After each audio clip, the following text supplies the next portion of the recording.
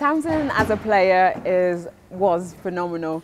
Um, she is a way she has a way where she can just lead you into space. She lets you play with freedom because her vision is so open and the, her reading of the game is so well that when I play with her it's just easy and it's just fun as a coach, she really developed my game in terms of she never just says, oh, this is wrong. It's always, this is how you can also fix it. And she works with you as a player when she's a coach. So you, um, you really find answers together. Tamsin's impact on me has been phenomenal. She, like, as I said, when I play with her, it's just fun.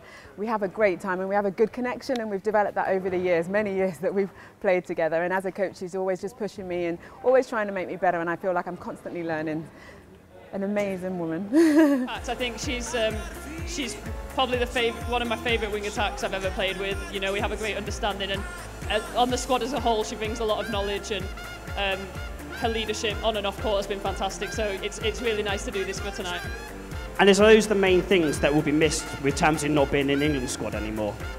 Um, we'll miss her tantrums and we'll miss her spitting a dummy.